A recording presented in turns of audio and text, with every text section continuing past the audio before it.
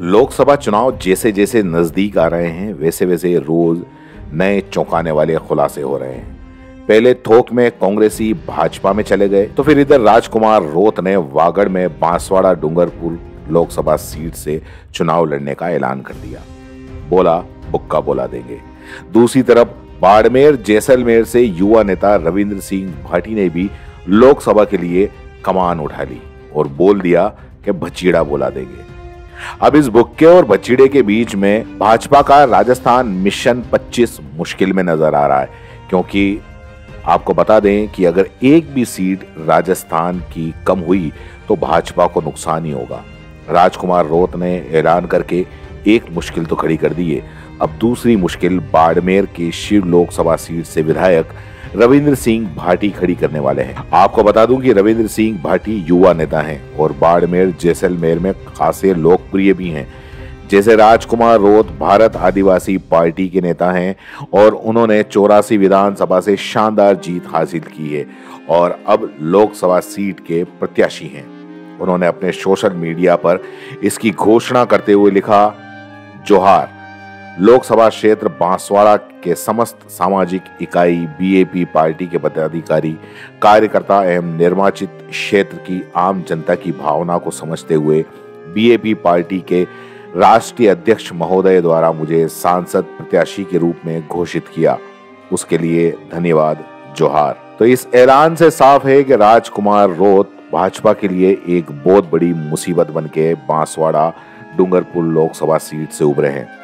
अब इधर बाड़मेर जैसलमेर लोकसभा सीट की बात करें तो यहाँ भी रविंद्र सिंह भाटी ने नींदें उड़ाई हुई हैं।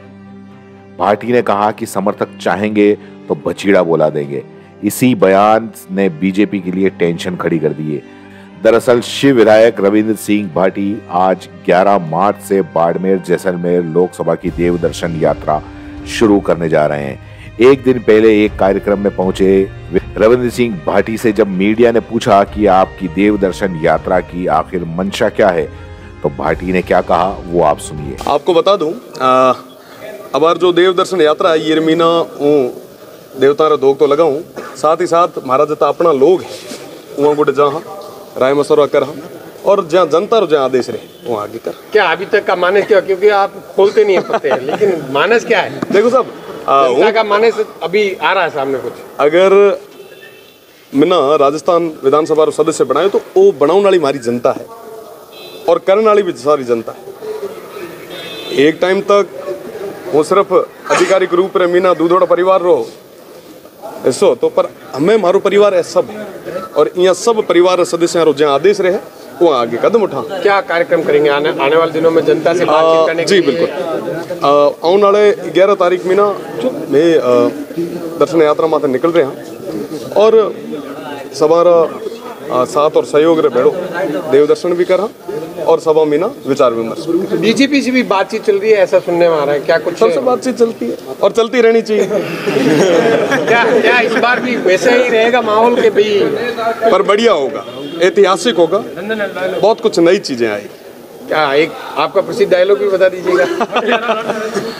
बढ़िया बजट बोला। पार्टी ने चुनाव लड़ने को लेकर स्पष्ट तो कुछ नहीं कहा, हालाँकि लोकसभा चुनाव लड़ने को लेकर एक बड़े संकेत दे डाले हैं।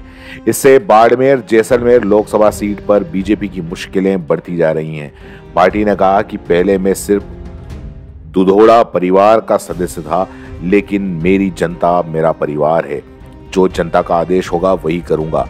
जब भाटी से पूछा गया कि बीजेपी से आपकी बातचीत चल रही है तो उन्होंने कहा कि मेरी बातचीत सभी से चल रही है। इस बार आपकी मंशा क्या है? इस पर सवाल, इस सवाल पर भाटी ने कहा कि इस बार जो कुछ होगा अच्छा ही होगा, ऐतिहासिक होगा। बहुत कुछ चीज़ें नहीं आएँगी।